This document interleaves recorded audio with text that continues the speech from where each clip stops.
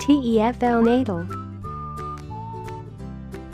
Once you have confirmed your place on one of our courses in Natal, we will provide you with a list of available accommodation options for you to, to choose from.